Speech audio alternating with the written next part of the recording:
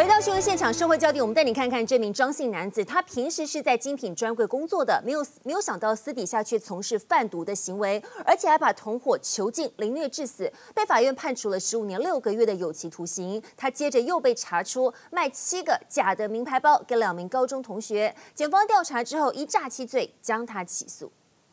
黑色菱格纹加上金属链条设计，极具品牌标志性的精品包款是很多少女梦寐以求的配件。不过，却有不少人士看准市面上抢手的精品包，狡猾诈骗。一名在信义区百货精品表专柜的张姓男子就是诈骗主嫌。他联系两名昔日的高中女同学，声称自己认识很多柜姐，有管道可以用超低价代购。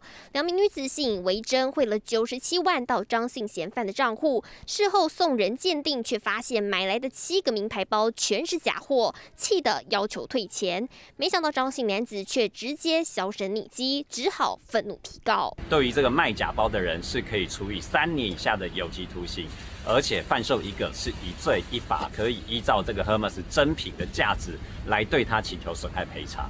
但张嫌犯要付出的代价恐怕不止这些，因为他不仅骗人钱财，甚至夺人性命。贩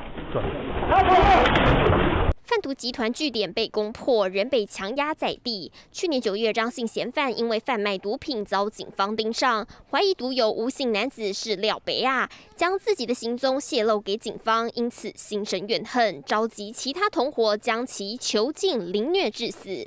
张贤犯最后被法院判处十五年六个月有期徒刑，没想到现在又被调查出贩卖假包，还遭品牌提告，再为自己添加诈欺罪名，恐怕有好长一段时间都得在监狱度过。记者陈佳敏、林文台北采访报道。